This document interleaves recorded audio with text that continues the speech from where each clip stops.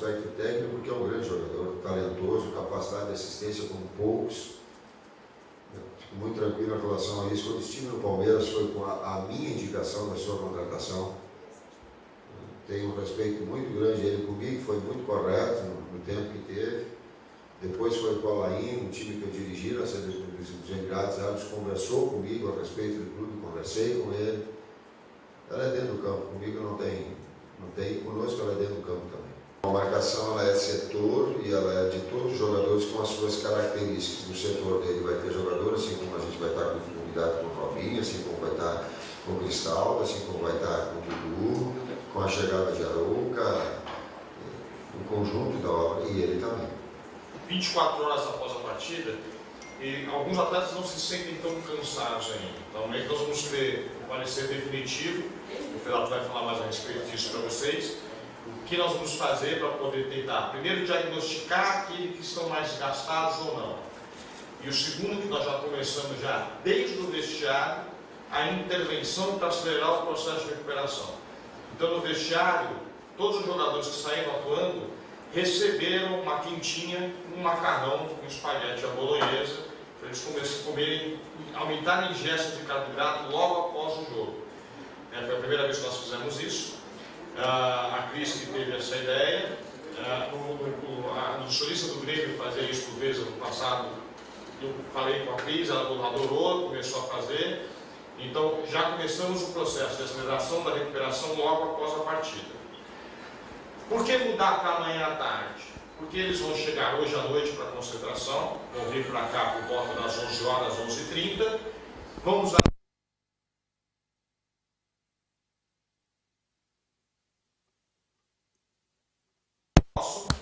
e treinam no período da tarde. Então, o primeiro são esses dois aspectos. O primeiro é diagnosticar quem está recuperado, mais desgastado ou menos desgastado. E segundo, que nós já começamos o processo de intervenção na aceleração de recuperação, que o FEDATO vai dar mais detalhes para vocês. É, o horário de sono, na minha opinião, o sono é o maior reparador, o maior é, fator aí para a recuperação do atleta. É, isso foi um ponto importante na, na hora da, dessa programação. Essa, esses horários eles têm, tem horário para entrar para o quarto, horário de café da manhã, horário de todas as refeições. Lógico, manhã de manhã eles vão, o ideal é dormir bastante mesmo, mesmo que atrase um pouco essa primeira refeição, mas foi tudo pensado e, e os atletas cientes da importância disso concordaram com, com a programação e para a gente, é, a gente ficar contente com essa, com todos abraçando né, a causa, cada vez mais a gente consegue resultados melhores. É, a opção por uma programação dessa forma vem pelo descanso maior, ter um, horas mais de sono pela manhã. É, o treino à tarde vai, vai deixar a gente com um tempo maior para também ter uma leitura melhor desse atleta. Então, algumas avaliações, como a avaliação do CK, até a avaliação do departamento médico, amanhã à tarde a gente vai conseguir ter essa leitura melhor. E, e lógico, um período maior concentrado, eles têm um número maior de refeições aqui com a gente de uma forma mais controlada. Então, isso daí são fatores que vão ajudar a gente no resultado final melhor pelo tempo menor que a gente tem entre um jogo e outro. O Predato respondeu fisiologicamente, eu me projetei. Eu não estou na minha plenitude hoje, porque eu não descansei e não dormi legal ontem. Hoje eu vou dormir para na, na plenitude da minha, da porque eu também, né, me avaliando quando eu estou mais descansado, um raciocínio mais rápido, né, quando eu estou falando ninguém fica pescando assim no olho do lado, o cara está mais aceso. Eu dou, eu, eu dou uma resposta, quando vocês estão legal, eu dou uma resposta e é um gancho para vocês em seguida me fazerem outra. Essas percepções, quando o cara não está mentalmente legal, o cara perde. E eu estou precisando também hoje fazer, o atleta também precisa, por isso que o Fábio falou, acho que não é no primeiro dia, no segundo.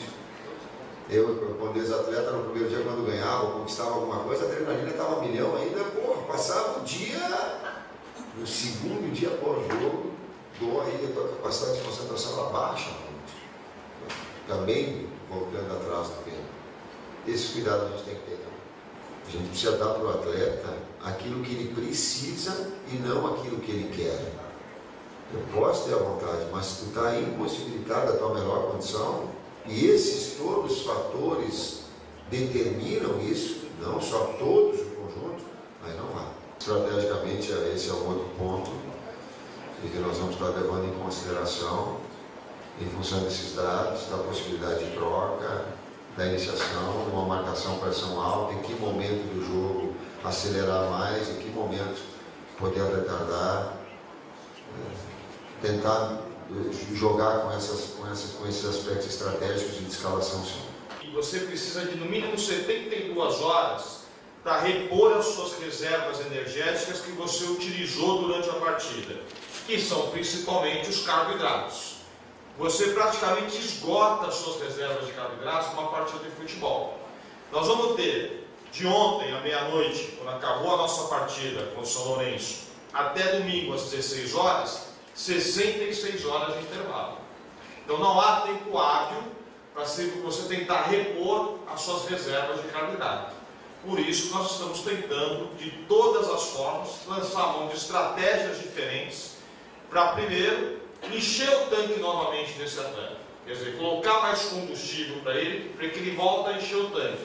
Evidentemente que o Palmeiras está descansando, só nos olhando, assistindo pela televisão, para nos enfrentar no próximo domingo.